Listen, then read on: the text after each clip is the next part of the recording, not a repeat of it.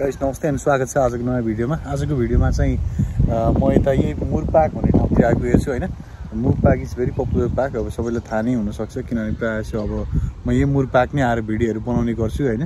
र आजको भिडियोमा चाहिँ मलाई थुप्रै साथीहरूले चाहिँ अलि रिसेन्टली तपाईँको चाहिँ मलाई मेरो पर्सनल फेसबुक पेजमा सँगसँगै तपाईँको चाहिँ इन्स्टाग्राममा उहाँहरूले थुप्रै कमेन्ट्सहरू अनि सँगसँगै तपाईँको चाहिँ पर्सनल म्यासेजहरू पनि गरिराख्नु भएको छ कि किनभने अब अस्ट्रेलियामा चाहिँ रिसेन्टली एकदमै धेरै भिजाहरू चाहिँ रिजेक्सनहरू आइरहेछ होइन।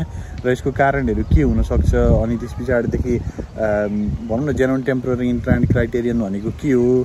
के कारणले गर्दाखेरि अस्ट्रेलियामा भिजा रिजेक्सन धेरै हाई भइरहेछ र अस्ट्रेलियामा भिजा रिजेक्सन भइसके पछाडि युकेमा भिजा एप्लाई गर्न फेरि पोसिबल छ कि छैन?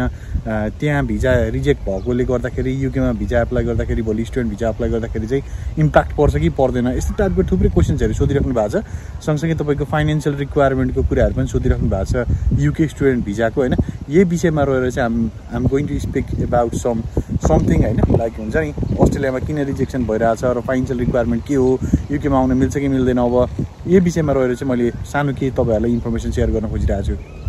र साथी यो अस्ट्रेलिया भन्ने बित्तिकै थुप्रैजना साथीहरूको चाहिँ one of the best destinations हो होइन? किनभने अहिले पनि थुप्रैजना साथीहरूले अस्ट्रेलियालाई नै एउटा प्रमुख डेस्टिनेसन्स ठानेर चाहिँ भिजा अप्लाई गर्नुहुन्छ होइन?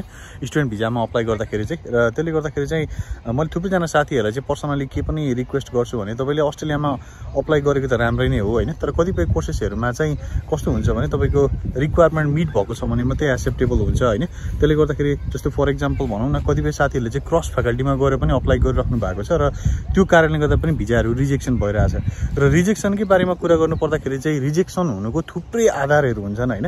जुन अब कतिपय साथीहरू चाहिँ मलाई पर्सनली म्यासेजमा सोधिरहेको क्वेसन भने चाहिँ जै दाइ जिटी क्राइटेरिया नमिलेर रिजेक्ट भइरहेको छ अरे जिटी क्राइटेरियामा चाहिँ के भन्न खोजेको हो? होइन? अनि त्यसमा क्लज नम्बरहरू पनि दिएको छ होइन? यो भनेको चाहिँ के हो भनेर पनि क्वेसन सोधिराख्नु भएको छ। नर्मली जिटी क्राइटेरिया भनेको चाहिँ जिटी भनेको चाहिँ खास के हो भने जेनुन टेम्पोररी इन्ट्रान्ट भनिन्छ त्यसलाई होइन? जेनुन टेम्पोररी इन्ट्रान्ट भने चाहिँ के भने तपाईँ जेनुन स्टुडेन्ट हो र जेनुन पर्पजको लागि चाहिँ अस्ट्रेलिया गइराख्नु भएको छ भन्ने एउटा चाहिँ सर्टेन कि तपाईँले एउटा स्ट्यान्डर्ड भनौँ न एउटा रिक्वायरमेन्ट चाहिँ तपाईँले फुलफिल गरेको देखाउनु पर्ने हुन्छ होइन। सो डेफिनेटली हामीले स्ट्यान्डर्ड एउटा रिक्वायरमेन्ट फुलफिल नगरिकन त पक्कै पनि हामीले भिजा अप्लाई गर्दैनौँ। तर पनि तपाईँको भिजा केस अफिसरलाई चाहिँ त्यो कुराहरू चाहिँ चित्त बुझेन अथवा तपाईँले लेखेको स्टेटमेन्ट अफ पर्पज चाहिँ जेनुन लागेन अथवा तपाईँले कुन कोर्समा अप्लाई गरिराख्नु भएको छ त्यो कोर्सको बारेमा तपाईँलाई अलिकति इन्फर्मेसन कम थाहा भयो अथवा तपाईँले इन्फर्मेसन जति सक्दो धेरै इन्फर्मेसन सप्लाई गर्न सक्नु भएन। यस्तै यस्तै कुराले गर्दाखेरि चाहिँ तपाईँहरूलाई इम्प्याक्ट पर्छ र तपाईँहरूको भिजा रिजेक्ट हुने चान्सेसहरू चाहिँ हायर हुन्छ। अब अर्को कुरा चाहिँ तपाईँको क्रस फ्याकल्टी भन्ने बित्तिकै खास कस्तो बुझिन्छ भने जस्तै तपाईँले म्यानेजमेन्ट पढ्नु भएको छ होइन? म्यानेजमेन्टमा तपाईँले चाहिँ बिजनेस एकाउन्टिङहरू लिएर पढ्नु भएको छ तर तपाईँले ब्याचलर्स डिग्री अप्लाई गर्दाखेरि चाहिँ तपाईँको बिजनेस इन्टेलिजेन्स एनालाइटिक्स होइन? अनि त्यस पछाडिदेखि ब्याचलर्स अफ बिजनेस एनालाइटिक्स यस्तो टाइपको कोर्सेसहरू चाहिँ अप्लाई गर्नुभयो तर तपाईँको बाह्र क्लासमा चाहिँ म्याथमेटिक्स तपाईँले पढ्नु भएको थिएन र पनि तपाईँले अप्लाई गर्नुभयो र तपाईँले कलेज युनिभर्सिटीले एक्सेप्ट गर्न सक्छ तर पनि तपाईँले एउटा जेनुन चाहिँ एउटा आफ्नो भनौँ न एउटा प्लानहरू तपाईँले देखाउन सक्नु भएन। अथवा तपाईँले स्टेटमेन्ट अफ पर्पजमा त्यो सबै कुराहरू चाहिँ तपाईँले राम्रोसँगले एक्सप्लेन गर्न सक्नु भएन र तपाईँको फ्युचर करियर प्लान के हो भन्ने कुराहरू चाहिँ तपाईँले कन्भिन्स गर्न सक्नु भएन भिजा केस अफिसरलाई भने पनि तपाईँहरूको भिजा रिजेक्सन चान्सेसहरू हुने चान्सेसहरू हुन्छ। अनि यही क्रस फ्याकल्टीको कुरा गर्नु पर्दाखेरि कतिपय साथीहरूले चाहिँ जस्तो भनौँ न प्लस टूमा चाहिँ नै पिसिएल नर्सिङ पढिराख्नु भएको छ तर अप्लाई गर्दाखेरि चाहिँ भनौँ न डिप्लोमा लेभलको early childhood education and care भन्ने कोर्सेसहरूमा अप्लाई गरेको साथीहरू पनि भिजा रिजेक्सनहरू अलिअलि आएको पनि सुनिन्छ होइन? रिजेक्सनहरू भइ पनि रहेछ भन्ने पनि सुनिन्छ। कतिपय साथीहरू पिसिएल नर्सिङ पढेका हुन्छन् अनि तपाईँको भेटनरी साइन्स पढेका हुन्छन् र उहाँहरूले चाहिँ तपाईँको डेन्टल साइन्सहरू अप्लाई गरिराख्नु भएको छ। यो भनेको त कम्प्लिटली क्रस फ्याकल्टी हो नि त होइन? सो त्यसले गर्दाखेरि पनि इम्प्याक्ट चाहिँ अलिकति धेरै परि नै रहेको छ होइन? सो यस्तो किसिमको कोर्सेसहरूमा चाहिँ अप्लाई गर्नुहोस् भनेर चाहिँ म चाहिँ खासै त्यति धेरै रिकमेन्ड गर्दिनँ। चाहे तपाईँ अप्लाई गर्दाखेरि चाहिँ एटलिस्ट होइन हुन्छ नि लाइक आफ्नो रिलेभेन्ट कोर्सेसहरू छानेर नै अप्लाई गर्नुहोस् होइन। तपाईँले जे पढ्नु भएको आफ्नो प्लस टूमा अथवा ब्याचलर्समा तपाईँले ब्याचलर्समा अथवा मास्टर्स डिग्री पढ्न जाँदाखेरि चाहिँ रिलेभेन्ट डिग्री नै छान्नु होला र मेरो चाहिँ त्यही नै रिक्वायरमेन्ट हो। मेरो चाहिँ त्यही नै रिक्वेस्ट पनि हो। र अर्को रिजेक्सन हुनुको सबैभन्दा ठुलो अर्को रिजन भने चाहिँ तपाईँको आइएल्स पिटीको रिक्वायरमेन्ट जुन हाम्रो इङ्ग्लिस रिक्वायरमेन्ट भन्छ नि त्यो इङ्ग्लिस रिक्वायरमेन्टले गर्दाखेरि पनि अलिकति रिजेक्सन्सहरू हाई हुन्छ। जस्तो फर इक्जाम्पल म मास्टर्स डिग्रीको स्टुडेन्टहरूको बेसमा त मैले यो रिजेक्सनको कुराहरू चाहिँ धेरै फोकस गर्न खोजेको छैन किनभने मास्टर्स डिग्री पढ्न जान लागेको स्टुडेन्टहरूले डेफिनेटली तपाईँको चाहिँ इन्ट्री क्राइटेरिया मिट गर्न नै अप्लाई गर्नुहुन्छ होइन? उहाँहरूको आइएल्समा पिटीमा इन्ट्री क्राइटेरिया मिट भएन भने डेफिनेटली उहाँहरूले अफर लेटर नै पाउनुहुन्न।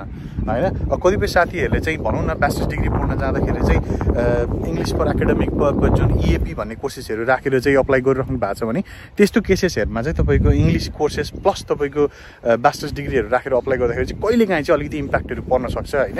किनभने हामीले प्लस टूमा चाहिँ इङ्ग्लिसको स्कोर अलिकति कम लिएर आएका छौँ र तपाईँले चाहिँ नि भनौँ न एउटा इङ्ग्लिस कोर्सेस राखेर तपाईँले मास्टर्स डिग्री अप्लाई गरिराख्नु भएको छ भने तपाईँको जेनुन भनौँ न एउटा इन्ट्री क्राइटेरिया चाहिँ मिट नभएको भन्ने कुराले पनि त्यहाँ पनि दर्शाउँछ। तर इएपी राख्तीमा भिजा रिजेक्सन हुन्छ नै भनेर चाहिँ ग्यारेन्टी चाहिँ भन्न सकिँदैन। तर तपाईँले राम्रोसँगले चाहिँ आफ्नो स्टेटमेन्ट अफ पर्पज खुलाउनु पऱ्यो तपाईँले किन इएपी हाल्दै हुनुहुन्छ होइन? र तपाईँको पर्पज चाहिँ के हो? इङ्ग्लिस फर एकाडेमिक पर्पज पढ्नेको पर्पज चाहिँ के हो खास? तपाईँ यो कोर्स चाहिँ किन गर्न खोजिराख्नु भएको छ? यो सबै कुराहरूको बारेमा चाहिँ तपाईँले डिटेलमा चाहिँ लेख्न सक्नुभयो। स्टेटमेन्ट अफ पर्पज भने यस्तो किसिमको भिजा रिजेक्सनहरूबाट चाहिँ बच्न सकिन्छ अलिकति। थुप्रै साथीहरूले चाहिँ के सोच्नुहुन्छ भने जस्तो डिप्लोमा कोर्सेसहरूमा जानको लागि चाहिँ इङ्ग्लिसको रिक्वायरमेन्ट भनेको त्यही five point five no band less than five हो। यदि त मेरो रिक्वायरमेन्ट पुगेकै छ मैले फाइभ पोइन्ट फाइभ फाइभ लिएर आएकै छु भनेर पनि अप्लाईहरू गरिरहेको पनि देखिन्छ होइन? तर अप्सोरबाट अप्लाई गर्दाखेरि चाहिँ स्टुडेन्टहरूको प्रोफाइल नै अलिकति कमजोर छ। जस्तो फर इक्जाम्पल भनौँ न two point three GPA two point five GPA मात्रै छ भने चाहिँ अलिकति कम प्रोफाइल हो अलिकति कमजोर प्रोफाइल हो भन्ने हिसाबले गर्दाखेरि पनि तपाईँहरूको भिजा रिजेक्सन भएको चान्सेसहरू रिजेक्सन हुने चान्सेसहरू चाहिँ हाइयर हुन्छ। त्योदेखि बाहेक अर्को रिजन भनेको चाहिँ तपाईँको फाइनेन्सियल रिक्वायरमेन्ट होइन? फाइनेन्सियल रिक्वायरमेन्टमा तपाईँको चाहिँ इन्कम सोर्सेसहरू कि तपाईँको चाहिँ नि तपाईँको फन्डको सोर्सेसहरू जस्तो फर इक्जाम्पल तपाईँले फन्डको कुरा नै गर्नु पर्दाखेरि तपाईँले ब्याङ्कबाट चाहिँ भनौँ न एउटा म्याच्योर्ड तपाईँको चाहिँ ब्याङ्क ब्यालेन्स देखाएर एप्लाई गरिराख्नु भएको छ कि? अथवा तपाईँको चाहिँ एजुकेसन लोन लिएर पो एप्लाई गरिराख्नु भएको छ कि होइन? र त्यो लोनको सोर्सेसहरू के हुन सक्छन् होइन? लोनको सोर्सेस भन्नाले पनि जस्तो अब हामीले इन्कम सोर्सेसहरू पनि देखाउँछौँ नि त कतिपय साथीहरूको चाहिँ अन्डरस्ट्यान्डिङ खास के हुनसक्छ भने मैले एजुकेसन लोन देखाइसकेँ गरिसके पछाडि म लोनबाटै पेमेन्ट गर्छु मैले इन्कम सोर्स किन देखाउने भन्ने कुराहरू पनि आउनु सक्ला होइन? आफ्नै लेभलको अन्डरस्ट्यान्डिङहरू हुनसक्छ मान्छेहरूको बिचमा। तर त्यही हो। इन्कम सोर्स तपाईँले चाहिँ एकदमै स्ट्रङ देखाउन सक्नुभयो भने पनि तपाईँहरूको भिजा रिजेक्सनबाट चाहिँ अलिकति बस्न सकिन्छ। यस्तो किसिमको यस्तो किसिमको चाहिँ कुराहरूमा एकदमै फोकस गर्नुपर्ने हुन्छ होइन? अस्ट्रेलियाको एकदमै ठुलो ड्रब्याक भनेको चाहिँ हामीले चाहिँ इन्कम सोर्सेसहरू पनि सबै देखाउनु पर्ने हुन्छ फन्डहरू सो गर्नुपर्ने हुन्छ सबै होइन? हाई कमिसनलाईदेखि लिएर युनिभर्सिटीहरूलाई सबैले देखाउनु पर्ने हुन्छ। र यो चाहिँ टेक्निकली नेपाली समुदायको स्टुडेन्टहरूले चाहिँ भनौँ न कसको चाहिँ हुन्छ होला? पैँतिस चालिस लाख रुपियाँ तपाईँको जाने वार्षिक इन्कम त टेक्निकली जुटाउनु त गाह्रै हुन्छ नि त। तर पनि एभरेजमा तपाईँको अठारदेखि बिस लाख पच्चिस लाखसम्मको इन्कम सोर्स देखाएर तपाईँले अप्लाई गर्नुभयो भने चाहिँ most of the diploma masters डिग्रीमा apply गर्न लागेको स्टुडेन्टहरूले भनौँ न कलेजहरूमा अप्लाई गर्न लागेको स्टुडेन्टहरूको हकमा चाहिँ यति इन्कम सोर्सेसलाई इनफ नै पुग्न सक्ने सम्भावना हाइयर हुन्छ। अल्सो फाइनेन्सियल रिक्वायरमेन्टको कुरा गर्नु पर्दाखेरि चाहिँ फाइनेन्सियल रिक्वायरमेन्ट भन्ने बित्तिकै तपाईँको अस्ट्रेलियामा चाहिँ अब इन्कम सोर्सेसहरू कति हुनुपर्छ होइन? र ब्याङ्कमा फन्ड कति हुनुपर्छ एजुकेसन लोन लिने हो भने कति जति लिनुपर्छ भन्ने कुराहरू नै हो। फाइनेन्सियल रिक्वायरमेन्टमा तपाईँको जस्तै तपाईँको ब्याचलर्स डिग्री पढ्न जाँदै हुनुहुन्छ तपाईँको एभरेज फी स्ट्रक्चर पच्चिस हजार छब्बिस हजार अस्ट्रेलियन डलर छ र तपाईँले तिन चार हजार डलर चाहिँ स्कलरसिपहरू पाउनु भएको छ भने एटलिस्ट तपाईँले इन्कम सोर्सेस चाहिँ सत्र अठार लाखदेखि प पच्चिस लाखसम्मको अठारदेखि पच्चिस लाखसम्मको एभरेज तपाईँले आफ्नो इन्कम सोर्स देखाइदिनु होला। र सब तपाईँको चाहिँ जुन फन्ड छ हाम्रो ब्याङ्कमा देखाउनु पर्ने जुन क्यास फन्ड अथवा तपाईँको एजुकेसन लोनको फन्ड भन्छौँ होइन? त्यसमा चाहिँ तपाईँले एक वर्षको फी प्लस तपाईँको चाहिँ लिभिङ एक्सपेन्सेस तपाईँको ओएचआरसी जुन ओभरसिज स्टुडेन्ट ओभरसिज तपाईँको हेल्थ कभर भन्छ होइन? इन्सुरेन्स भनौँ न सबैले बुझ्नको लागि इन्सुरेन्स होइन? त्यस पछाडिदेखि चाहिँ तपाईँको पर्सनल एक्सपेन्सेसहरू सबै देखाएर चाहिँ तपाईँले एटलिस्ट भनौँ न फोर्टी फाइभ फोर्टी ल्याक्स जति चाहिँ तपाईँले फन्ड देखाइदिनु भयो एटलिस्ट यदि जति देखाइदिनु भयो भने चाहिँ थुप्रै स्टुडेन्टहरूको चाहिँ तपाईँको फाइनेन्सियल रिक्वायरमेन्टहरू चाहिँ पुरा हुनसक्छ अब यसको मतलब यो होइन कि तपाईँको डिपेन्डेन्ट जाँदाखेरि चाहिँ कति जति लाग्छ डिपेन्डेन्ट जाँदा पनि त्यति नै लाग्छ त त्यति नै देखाउनु पर्ने त हो त भनेर भन्नुहुन्छ भने चाहिँ डिपेन्डेन्टको पनि हामीले चाहिँ इन्सुरेन्सको कस्ट देखाउनु पर्ने हुन्छ र सँगसँगै डिपेन्डेन्टको पनि हामीले चाहिँ ओएचआरसी जुन चाहिँ इन्सुरेन्स भन्छ हामीले होइन ओभरसिज स्टुडेन्टको चाहिँ तपाईँको एउटा इन्सुरेन्स देखाउनु पर्ने हुन्छ त्यो पनि देखाउनु पर्ने हुन्छ डिपेन्डेन्ट पार्टनरको पनि र त्यही देखाउँदाखेरि एभरेजमा तपाईँ डिपेन्डेन्ट चाहिँ प्लान गर्दै हुन्छ मास्टर्स डिग्रीको लागि भने तपाईँले त्यही around like forty five lakhs to fifty lakhs fifty five lakhs even त सिक्सटी ल्याक्स तपाईँ जति धेरै हाई फीमा जानुभयो त्यति धेरै तपाईँले चाहिँ फन्डहरू देखाउनु पर्ने हुन्छ। एभरेजमा त्यही नै हो रिक्वायरमेन्ट डिपेन्ड्स लाइक तपाईँको फी कति छ भन्ने कुराले म्याटर गर्छ। होला युकेमा चाहिँ फाइनेन्सियल रिक्वायरमेन्ट के कति लाग्छ त? के कति जति देखाउनुपर्छ त इन्कम सोर्सेसहरू? अनि तपाईँको ब्याङ्क ब्यालेन्स अथवा एजुकेसन लोन कति जति देखाउनुपर्छ त भनेर सोध्नुहुन्छ भने चाहिँ युकेमा चाहिँ इन्कम सोर्स हामीले जुन भिजा अफिसरहरूलाई चाहिँ जस्तो हामीले हाई कमिसनमा भिजा लज गर्दाखेरि तपाईँले कुनै पनि अस्ट्रेलियाको जस्तो इन्कम सोर्सेस भनेर चाहिँ देखाउनु पर्दैन डेफिनेटली होइन। र तपाईँले भिजा एप्लाई गर्दाखेरि इन्कम सोर्सेस पनि हाल्दिनँ हाल्नु होला तपाईँले जस्ट फन्ड मात्रै तपाईँको एकाउन्टमा कति छ भन्ने कुराहरूले म्याटर गर्छ। र फन्डको कुरा गर्नुहुन्छ भने चाहिँ तपाईँको एक वर्षको फी प्लस तपाईँको चाहिँ लिभिङ एक्सपेन्सेस जुन चाहिँ लन्डनभित्र छ भने लन्डनभित्रको लिभिङ एक्सपेन्सेस अलिकति ज्यादा हुन्छ एज कम्पेयर टु लन्डनभन्दा बाहिर। र बाहिरको लिभिङ एक्सपेन्सेस तपाईँ लन्डनभन्दा बाहिरको सिटीमा अप्लाई गरिदिनुहुन्छ अलिकति कम हुन्छ होइन? र त्यति जतिको तपाईँले लिभिङ एक्सपेन्सेस प्लस एक वर्षको लिभिङ एक्सपेन्सेस इन्टरनेसनल स्टुडेन्टको लागि प्लस तपाईँको एक वर्षको फी राखेर चाहिँ तपाईँले जति हुन्छ त्यति नै चाहिँ तपाईँले चाहिँ फन्ड जति देखाउनु पर्ने हुन्छ। युकेको लागि। र एभरेजमा तपाईँको मास्टर्स डिग्री पढ्न आउँदै हुनुहुन्छ भने एभरेजमा तपाईँले फन्ड देखाउनु thirty five to forty five lakhs त्यति म्याक्स देखाउनु पर्ने हुन्छ। तपाईँ सिङ्गल आउँदै हुनुहुन्छ भने around like thirty five to forty lakhs देखाउनु पर्ने हुन्छ भने तपाईँको डिपेन्डेन्ट सहित आउँदै हुनुहुन्छ भने चाहिँ forty to forty five lakhs भनेको इनफ हो। किनभने युकेको फी स्ट्रक्चर भनेको तपाईँले प्रायः जस्तो युकेको मास्टर्स डिग्री वान इयर्सको हुन्छ। र मास्टर्स डिग्री अप्लाई गर्न लागेको स्टुडेन्टहरूले पनि एक वर्षको फी प्लस एक वर्षको लिभिङ एक्सपेन्सेस मात्रै देखाउनु पर्ने हुन्छ। फन्ड देखाउँदा आइदर एजुकेसन लोन देखाउनुहोस् या तपाईँले क्यास ब्यालेन्स देखाउनुहोस्। र क्यास ब्यालेन्स देखाउँदाखेरि चाहिँ तपाईँले अट्ठाइस दिनको म्याच्योर्ड ब्याङ्क ब्यालेन्स भए पुग्छ युकेमा होइन? तपाईँले जस्तो अस्ट्रेलियामा तिन महिना छ महिना जतिको चाहिँ म्याच्योर्ड ब्यालेन्स हुनुपर्छ होइन? क्यासहरू चाहिँ राखेको झिकेको देखाउनुपर्छ जुन ट्रान्जेक्सन देखाउनुपर्छ भनिन्छ नि त्यो चाहिँ युकेमा त्यस्तो धेरै त्यस्तो प्रब्लम छैन। तपाईँले एकमुष्ट फन्ड जम्मा गरिसके पछाडि चाहिँ तपाईँको अट्ठाइस दिन म्याच्योर्ड भइसके पछाडि तपाईँले तिस बत्तिस दिनमा तपाईँले ब्याङ्क स्टेटमेन्ट निकालेर तपाईँले देखाउन सक्नुहुन्छ र त्यसकै आधारले तपाईँले भिजा अप्लाई गर्न पाउनुहुन्छ युकेमा चाहिँ। र युकेको फाइनेन्सियल एकदमै सजिलो छ as compared to Australia even the New Zealand अब अर्को कुरामा पनि फोकस गरौँ होइन? जस्तो फर इक्जाम्पल तपाईँको अस्ट्रेलियामा भिजा रिजेक्सन भयो भन्दैमा तपाईँले चाहिँ अरू कुनै डेस्टिनेसन जस्तो for example USA Canada New Zealand होइन? सँगसँगै तपाईँको युकेमा चाहिँ भिजा नै एप्लाई गर्न पाइँदैन भन्ने कुराको तपाईँको सोच छ भने चाहिँ द्याट इज कम्प्लिटली रङ किनभने तपाईँले युकेमा पनि भिजा अप्लाई गर्न पाउनुहुन्छ इभन त तपाईँको रिजेक्सन अस्ट्रेलियामा पनि भयो भने। अस्ट्रेलियामा भएर मात्रै केही फरक पर्दैन। किनभने कहिलेकाहीँ कस्तो भइदिन्छ भने अस्ट्रेलियामा चाहिँ भिजा एप्लाई गर्नुभयो र तपाईँको रिजेक्सन भयो तर तपाईँले तपाईँको रिजेक्सनको जेन्युन रिजन तपाईँले देखाएर युकेमा अप्लाई गर्नुभयो भने भिजा लाग्ने चान्सेसहरू हाइयर हुन्छ। र युकेमा पनि कस्तो हुन्छ भने तपाईँको भिजा एप्लिकेसन प्रोसिडियरहरू चेक गर्दाखेरि चाहिँ तपाईँको सबै रिक्वायरमेन्ट पुगाएर मात्रै तपाईँले युनिभर्सिटीमा अप्लाई गर्नु होला अस्ट्रेलियामा कलेजमा अप्लाई गरे जस्तो युनिभर्सिटीमा चाहिँ यहाँ चाहिँ युनिभर्सिटीमा मात्रै भिजा अप्लाई गर्न पाइन्छ होइन। तपाईँले कलेजेसहरूमा यहाँनिर पढ्न पाउनुहुन्न। यो कुरा चाहिँ एकदमै फोकस गरिदिनुहोस्। र त्यसले गर्दाखेरि एकदमै इम्पोर्टेन्ट कुरा हो यो। त्यही हो अस्ट्रेलियामा तपाईँको रिजेक्सन भएर पनि केही फरक पर्दैन। तपाईँले युके आउने प्लान गरिदिनुहुन्छ भने अपकमिङ इन्टेक भनेको सेप्टेम्बर इन्टेक हो होइन? September two thousand twenty two intake हो। त्यस पछाडिदेखि चाहिँ अर्को इन्टेक भनेको चाहिँ यहाँ चाहिँ July sorry January intake one of the biggest intake हो आफ्टर सेप्ट सेप्टेम्बर र नर्मली तपाईँको मास्टर्स डिग्री पढ्न आउनु लागेको स्टुडेन्टहरूले अथवा मास्टर्स डिग्री पढ्न आउनु लागेको स्टुडेन्टहरूले चाहिँ युकेमा अप्लाई गर्दाखेरि चाहिँ रिक्वायरमेन्ट चाहिँ एकदमै फोकस गरेर एकदमै रिक्वायरमेन्ट पुर्याएर मात्रै अप्लाई गर्नु होला। अस्ट्रेलियाको जस्तो फाइनेन्सियल रिक्वायरमेन्ट एकदमै टफ चाहिँ छैन युकेमा होइन? तर तपाईँले यहाँ अप्लाई अप्लाई गर्दाखेरि चाहिँ युनिभर्सिटीको स्ट्यान्डर्ड क्राइटेरिया जस्तो इन्ट्री रिक्वायरमेन्टदेखि लिएर तपाईँको एकाडेमिक इन्ट्री रिक्वायरमेन्ट सबै कुराहरू पुर्याएर मात्रै अप्लाई गरिदिनु होला।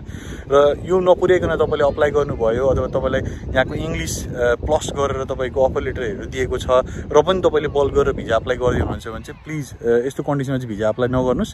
तपाईँको इन्ट्री रिक्वायरमेन्ट पुर्याएर मात्रै तपाईँले युनिभर्सिटीको एक्चुअल अफर लेटर लिएर मात्रै भिजा अप्लाई गर्नु होला।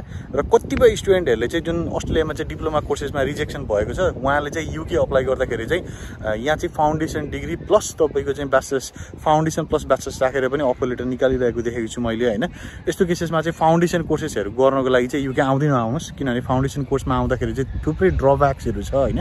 जस्तो फर इक्जाम्पल एउटै ड्रब्याक्सको हिसाबले कुरा गर्ने हो भने यहाँ चाहिँ तपाईँको एराउन्ड भनौँ न तपाईँले यो जुन फाउन्डेसन कोर्सेसहरू सिक्स मन्थ्सदेखि तपाईँको एट मन्थ्स या वान इयरसम्मको फाउन्डेसन कोर्सेसहरू हुन्छ। र फाउन्डेसन कोर्सेस पढ्न आउँदाखेरि चाहिँ तपाईँले टेन आवर्स पर विक मात्रै काम गर्ने राइट्सहरू पाउनुहुन्छ। मोस्ट अफ एन केसेसहरूमा होइन फाउन्डेसन डिग्रीहरूमा र सँगसँगै तपाईँको फाउन्डेसन डिग्रीमा तपाईँले त्यो को फाउन्डेसन डिग्री पास गर्न सक्नु भएन भने चाहिँ you will have to return back to Nepal किनभने तपाईँले फर्दर ब्याचलर्स डिग्रीमा तपाईँको प्रोग्रेसन नै हुँदैन र तपाईँले युनिभर्सिटीले फर्की भन्ने आदेश पनि दिन सक्छ। सो त्यसले गर्दाखेरि एकदमै टप छ।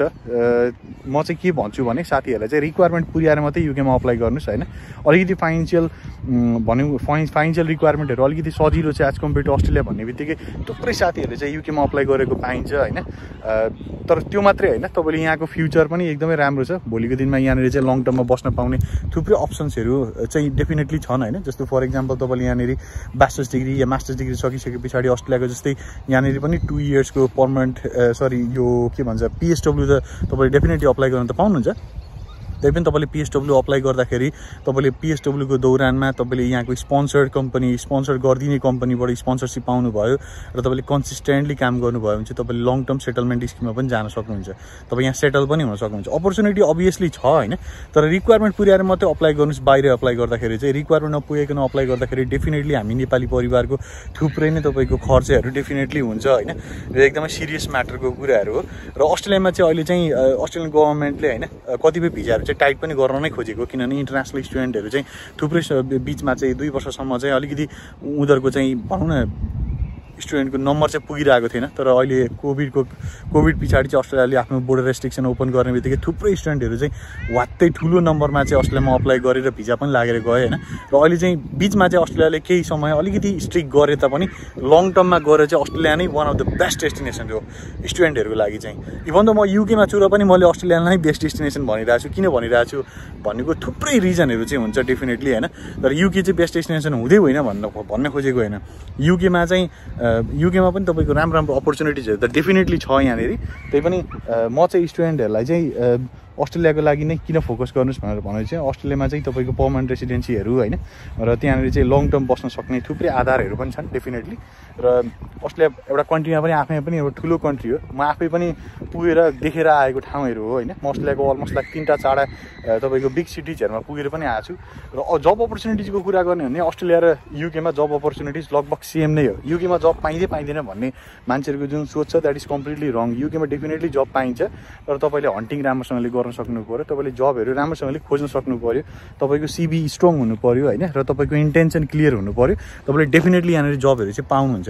र कम्पेरिटिभली तपाईँको जब मार्केटको हिसाबले कुरा गऱ्यो भने म त अझ झन् के भन्छु अस्ट्रेलियाभन्दा ठुलो जब मार्केट हो युकेको जब मार्केट किनभने युकेमा चाहिँ ठुला ठुला इन्डस्ट्रिजहरूदेखि लिएर तपाईँको warehouses industries age care homes होइन? हेल्थ केयर सेक्टर्स थुप्रै सेक्टर्सहरूमा चाहिँ स्टुडेन्टहरूले चाहिँ यहाँनिर इजिली जब पाइरहेछन् र यहीँबाट पनि सेटलमेन्ट अप्सनमा पनि गइरहेछन्। सो त्यसले गर्दा UK is one of the best destination र अस्ट्रेलिया पनि one of the best destination हो। कतिपय साथीहरूको चाहिँ अहिले पनि अब अस्ट्रेलिया नै जानुको मेजर कारण भनेको चाहिँ थुप्रैजना साथीभाइ आफन्तहरू अलरेडी अस्ट्रेलिया गइसकेको हुनुहुन्छ। अहिले लाग्छ मलाई हरेक घरबाट कोही न कोही सदस्य त चिनजानको आफन्तको साथीभाइ इष्टमित्र नाताको त अस्ट्रेलियामा डेफिनेटली पुगेका छन् र इन्टरनल एउटा पर्सनल सहयोग पनि हुने भएकोले गर्दाखेरि पनि अस्ट्रेलिया चाहिँ one of the best destination हो सबैको लागि।